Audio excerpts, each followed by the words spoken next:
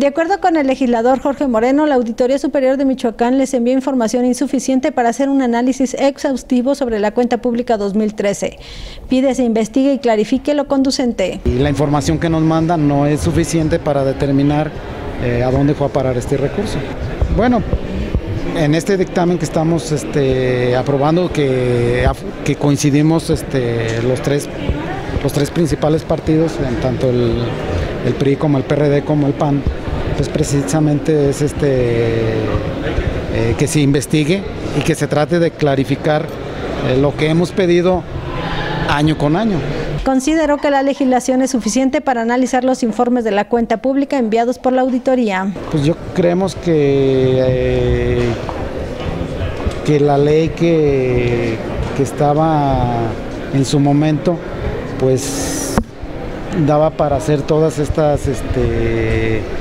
eh, los informes como nos los manda el, auditor y que pues, realmente pues no decir nada en más de 5 mil fojas que nos manda cada vez que, que nos manda el informe de la cuenta, pero que ya este contamos también con,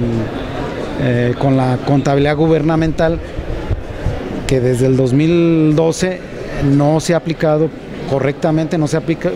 no se ha aplicado y que ahorita ya hay muchos, mucho avance. Dice que para este año ya habrá claridad en las cuentas porque la ley de contabilidad gubernamental obliga a informar con mayor detalle. Y que nosotros este, creemos que, que ya para el 2015, eh, desgraciadamente ya que no estemos, pues ya vamos a tener claridad en cuanto a las, en cuanto a las cuentas, ya que eh, la contabilidad gubernamental, pues sí ya es, más este, analítica en cuestión de, los recursos y ya no es, ya no es tan fácil este, eh, desviar los recursos sin que, nos, sin, que se nos sin que nos demos cuentas o sin que sepamos a dónde fueron a parar. Informó para Noticiero Nuestra Visión Patricia Torres.